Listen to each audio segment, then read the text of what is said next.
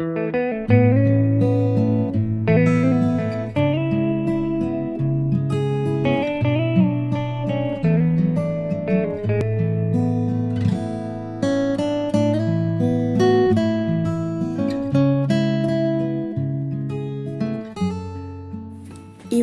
de Jésus-Christ selon Saint Marc.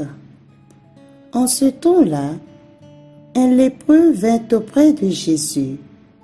Il le supplia et, tombant à ses genoux, lui dit, Si tu le veux, tu peux me purifier. Saisi de compassion, Jésus étendit la main, le toucha et lui dit, Je le veux, sois purifié. À l'instant même, la lèpre le quitta et il fut purifié.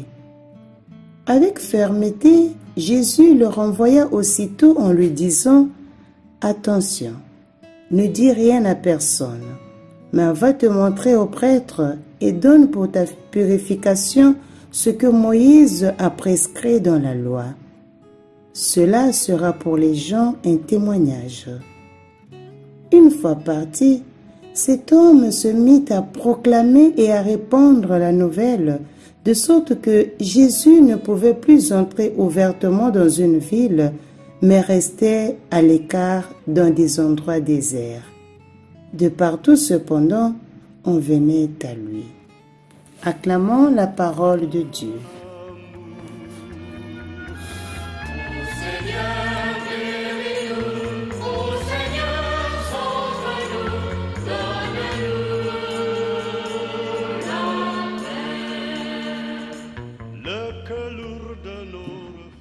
Chers auditeurs de trois minutes d'évangile, nous célébrons aujourd'hui le sixième dimanche du temps ordinaire de l'année liturgique B. Dans l'évangile que nous venons d'écouter, le lépreux s'est approché de Jésus et l'a supplié à genoux. Quelle douleur et quelle espérance dans le cœur de cet homme. En toute humilité et avec une profonde confiance, il s'est tourné vers Jésus. Jésus qui est un représentant de Dieu. Si tu le veux, tu peux me purifier. Purifier ce corps blessé. Guérir ce cœur plein de tant de blessures.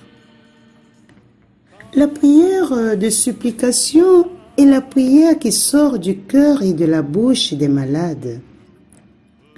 La majorité des psaumes de la Bible sont des prières de supplication.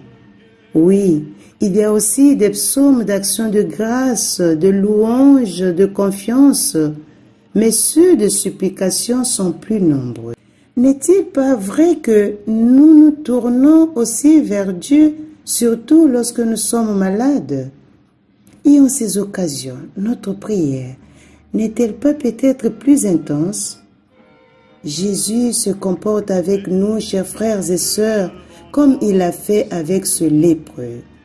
Il a de la compassion. Il nous tend la main. Il nous touche et dit, je le veux, sois purifié. Et nous aussi, en revanche, à l'égard de nos frères et sœurs, nous sommes appelés à cultiver le sens de la compassion.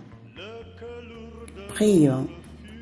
Nous te remercions du fond du cœur Jésus et nous te promettons de ne pas t'oublier quand nous serons bien portants.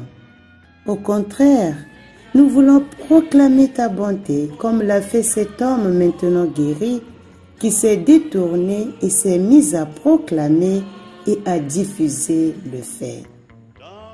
Dans un esprit de compassion, je vous souhaite un excellent dimanche.